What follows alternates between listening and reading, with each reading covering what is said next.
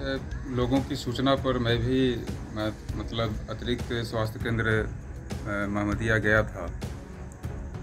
तो देखा गया कि वहाँ कुछ मेडिसिन जो है वो जल रही है। नमस्कार देख रहे न्यूज़ फॉर नेशन और मैं स्वाति पांडे आपके साथ बिहार के डिप्टी सीएम सह स्वास्थ्य मंत्री तेजस्वी यादव लगातार बिहार के स्वास्थ्य व्यवस्था को ठीक करने की कवायद में लगे रहते हैं। लगातार एक्शन मोड में नज़र आते हैं, लेकिन फिर भी बिहार में स्वास्थ्य विभाग की तरफ़ से लापरवाही की जो खबर है, वो आए दिन सामने आती रहती है। आपको बताएँ, हालिया मामला कटिहार का निकलकर सामने आ रहा है, जहाँ कटिहार में स्वास्थ्य विभाग की बड़ी लापरवाही और बड़ा खेल उजागर हुआ है। दरअसल अ, स्वास्थ्य विभाग की तरफ़ से कटिहार में कुछ एक्सपायरी दवा जो है वो उसे जलाने का एक तरीका होता है उसे नष्ट करने का एक तरीका होता है लेकिन यहाँ जो है वो एक्सपायरी दवा को जला दिया गया है। एक्सपायरी दवा को जलाने का जो खेल है जब सामने आता है उसके बाद जैसे ही जो प्रखंड अधिकारी और पदाधिकारी हैं उनसे जब सवाल पूछा जाता है तो क्या कुछ कहते हैं? उनकी पूरी बातों को हम सुनवाते हैं।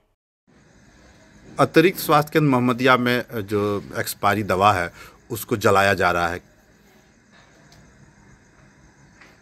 मैं लोगों की सूचना पर मैं भी मैं, मतलब अतिरिक्त स्वास्थ्य केंद्र महमदिया गया था। तो देखा गया कि वहाँ कुछ मेडिसिन जो है वो जल रही है।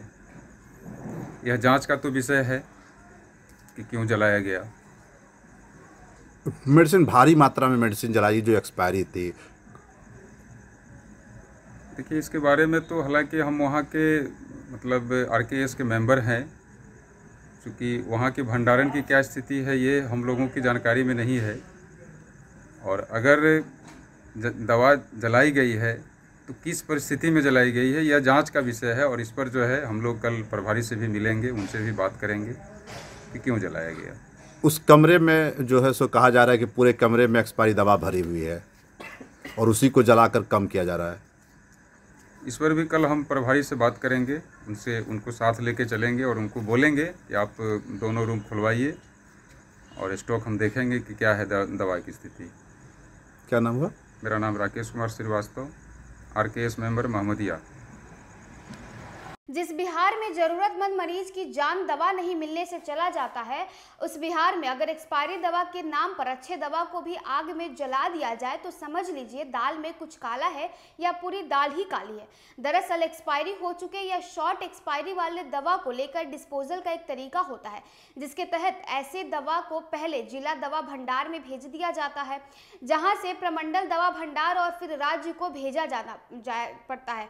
मगर कटिहार के हसनगंज प्रखंड के मोहम्मदिया अतिरिक्त स्वास्थ्य केंद्र में एक्सपायरी या शॉर्ट डेटेड एक्सपायरी दवा के अलावे करंट डेटेड जो जिसका अब भी एक्सपायरी में लंबे समय की वो दवा को भी जिस तरह से भंडारण करके रखा गया है, वह व्यवस्था सवालों के घेरे में और जब इस पर बातें बाहर आने लगी तो ऐसे दवा के खेप को आनंद फानन में जला देने की कोशिश से जुड़ा एक संगीन मामला सामने आया है।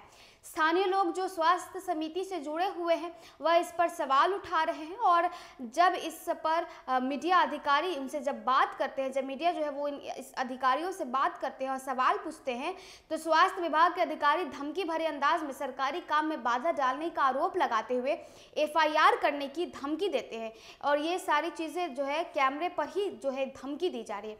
आपको हम पहले राकेश कुमार श्रीवास्तव, जो कि सदस्य प्रखंड स्वास्थ्य कमेटी के हैं, उनकी बात सुनवाते हैं। फिर आपको आर के ठाकुर हसनगंज प्रखंड स्वास्थ्य अधिकारी जो है उनकी बात सुनवाते हैं। तो देखिए, ये पूरा मामला कटिहार के एक स्वास्थ्य केंद्र का है, जहाँ एक्सपायरी और शॉर्ट टर्म वाली एक्सपायरी जो दवा है, इन्हें जला दिया जा रहा है। और जब इस सारे, इन सारे कारनामों का सवाल जब मीडिया कर्मी पूछते हैं तो सरकारी काम में बाधा देने का धमकी दिया जाता है, एफआईआर करने की धमकी जाती है और कैमरे के सामने ये सारी धमकियाँ दी जाती हैं। तो देखिए, जहाँ एक तरफ़ बिहार के डिप्टी सीएम सह स्वास्थ्य मंत्री तेजस्वी यादव लगातार बिहार में स्वास्थ्य व्यवस्था को ठीक करने में डॉक्टरों को अलर्ट करने के जो है इस कवायद में लगे हुए हैं। लगातार बिहार के जितने भी सरकारी जो हॉस्पिटल्स हैं जितने भी सामुदायिक और प्राथमिक स्वास्थ्य केंद्र वहाँ के लचर व्यवस्था को ठीक करने का कवायद में लगे हुए हैं। तो वहीं दूसरी तरफ़ जो स्वास्थ्य विभाग के जो कर्मी हैं और ये जो स्वास्थ्य केंद्र के कर्मी हैं वो आए दिन देखिए उनकी किस तरह से लापरवाही सामने आ जाती है जिसके बाद पूरा स्वास्थ्य विभा, अ, विभाग जो है वो कटघरे के घेरे में खड़ा नज़र आता है। फ़िलहाल इस खबर में बस इतना ही। और वीडियोस और अपडेट्स के लिए आप देखते रहे न्यूज़ फॉर नेशन।